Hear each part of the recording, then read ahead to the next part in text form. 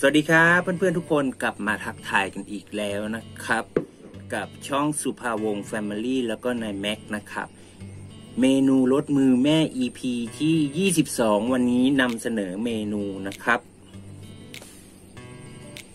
เจียวปลานะครับ แล้วก็ หน่อไม้ต้มนะครับ ผักกะหล่ำดอกนะครับ ลวกนะครับ วันนี้มาเปลี่ยนบรรยากาศนะครับ กับเถียงนาโมเดลของเรานะครับ อยู่กันกลางเถียงนานะครับ กินข้าวกลางทุ่งนาเลยนะครับ เดี๋ยวเราไปเริ่มกันเลยนะครับ ก่อนที่จะไปเริ่มนะครับกินข้าวนะครับ ฝากนิดนึงนะครับฝากกดไลค์กดแชร์กด Subscribe นะครับ เป็นกำลังใจให้แม็กด้วยนะครับ เป็นกำลังใจให้กับช่องสุภาวงศ์แฟมิลี่นะครับ ช่องน้อยๆนะครับ ฝากไว้ด้วยนะครับ ทักทายทั้งเพื่อนเก่าเพื่อนใหม่นะครับ โอเคครับ เริ่มกันเลยครับครับห่อข้าวก็ตะมุตะมินะครับ เล็กๆกล่องข้าวน้อยข้าแม่นะครับทุกคนชิมเลยครับเจียวปลานะครับ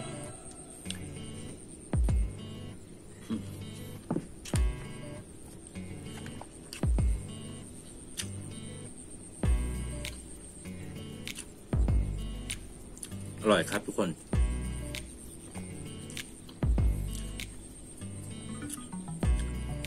หน่อไม้นะครับ ที่เราขุดกันวันก่อนนะครับ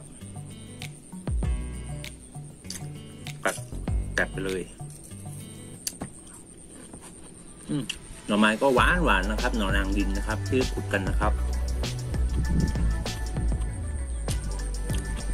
บรรยากาศคึมๆนะครับฝนจะตกนะครับ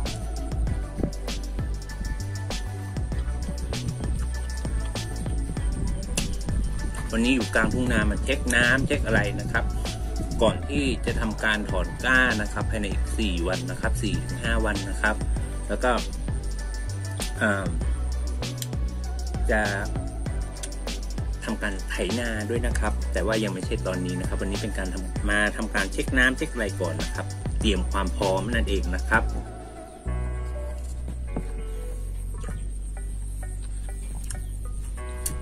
อืม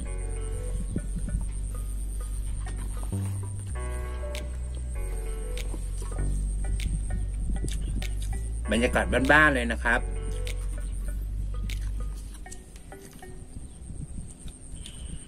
ใครชอบบรรยากาศแบบนี้ก็มากินข้าวด้วยกันได้นะครับ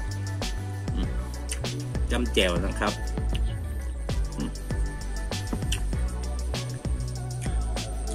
ลืมอย่างหนึ่งที่ไม่ได้เอามา น้ำพริกกะปินะครับ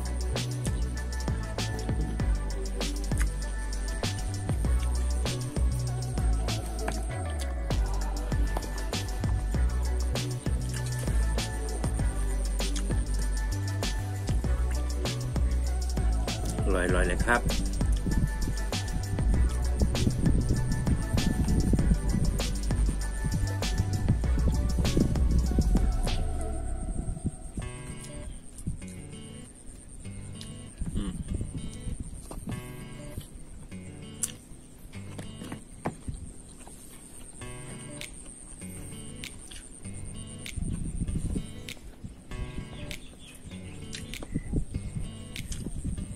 เมื่อวานมาหาเก็บปูนะครับ ปูเยอะมากเลยนะครับเพราะว่าแปลงข้างๆเขาก็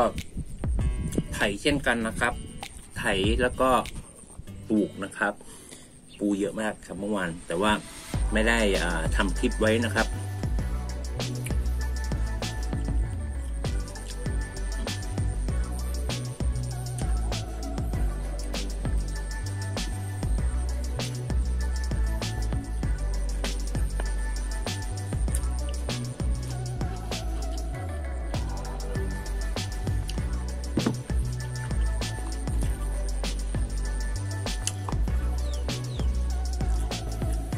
กินข้าวคนเดียวก็อร่อยได้นะครับ ทุกคนถ้าเป็นเมนูอาหารที่ชอบนะครับ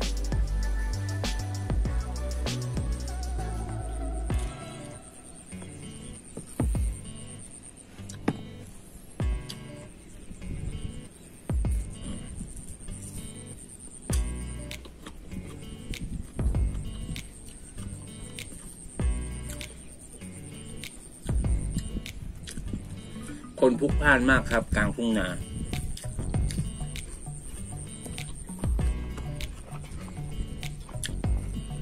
ฤดูทำนาของทางภาคเหนือนะครับ จังหวัดเชียงรายนะครับทุกคน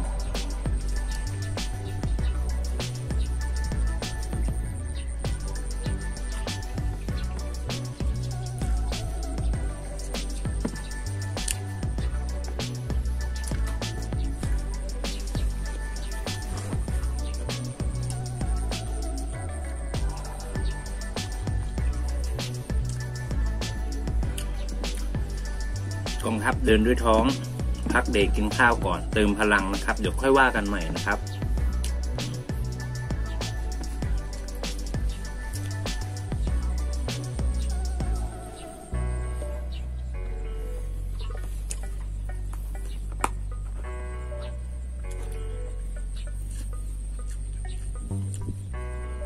ก็ฝนก็เริ่มลงเม็ดมาแล้วนะครับ ตอนนี้นิดหน่อยนะครับ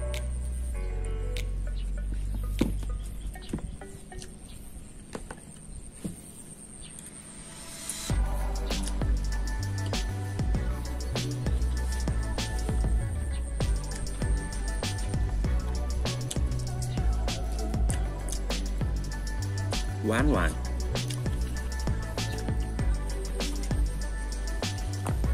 เดี๋ยวค่อยไปหากุดใหม่หน่อไม้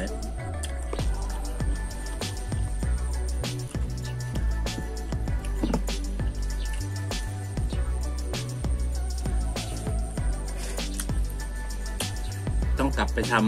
ำด้ามเสียมใหม่ก่อนนะครับ ว่าเสียมมันที่ใช้อยู่ประจำหักไปแล้วนะครับทุกคน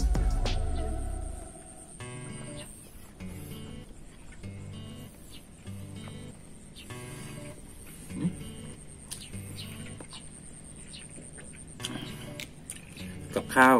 ถูกปากนี่อร่อยอร่อยเจะเรือนอาหารนะครับ คน แป๊บเดียวกล่องข้าวน้อยข้าแม่ของเราก็จะหมดแล้วนะครับ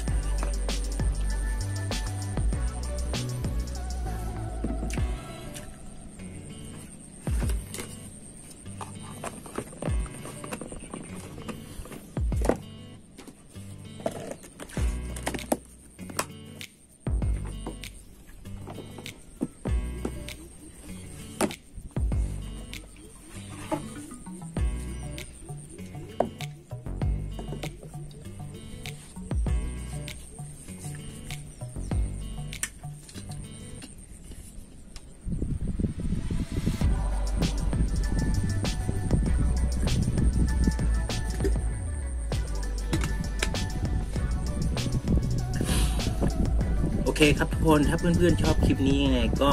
รบกวนฝากกดไลค์กดแชร์กด Subscribe ให้ด้วยนะครับ เป็นกำลังใจให้ช่องสุภาวงศ์แฟมิลี่แล้วก็นายแม็กด้วยนะครับ วันนี้ก็เอาไว้แค่นี้ก่อนกันนะครับ เดี๋ยวเจอกันคลิปต่อไปครับ สวัสดีครับไปครับ